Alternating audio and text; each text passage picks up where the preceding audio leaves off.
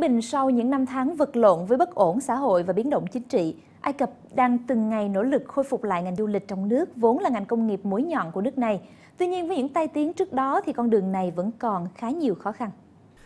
Khách du lịch đã dần trở lại với Ai Cập, nhưng ngành công nghiệp du lịch của Ai Cập vẫn chưa thể được gọi là đã phục hồi. Chính phủ Ai Cập hy vọng rằng lượng khách đến Ai Cập du lịch sẽ tăng 10% trong năm nay và phục hồi lại như trước đây trong năm tiếp theo. Tuy nhiên, với mối đe dọa thường trực từ nhóm chiến binh Hồi giáo ở bán đảo Sinai, thì điều này xem ra rất khó khả thi.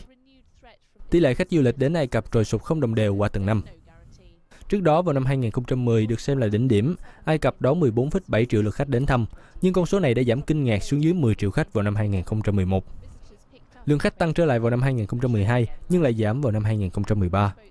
Bên dòng sông Nin, những người lái đò vẫn từng ngày nhẫn nại chờ đợi khách du lịch quay trở lại sau nhiều biến cố. Ai Cập là một đất nước xinh đẹp và du khách trên thế giới đều muốn đến đây. Ở đây họ cảm thấy có thể yên tâm tham quan ngắm cảnh mà không sợ mất đồ đạc.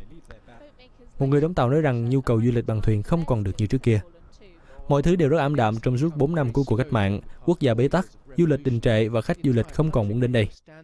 Ngành du lịch ở Ai Cập đã từng đáng giá 12,5 tỷ đô la Mỹ, nhưng các vụ đánh bom liên tiếp đã ngăn chặn khách du lịch quay trở lại với vùng đất xinh đẹp này.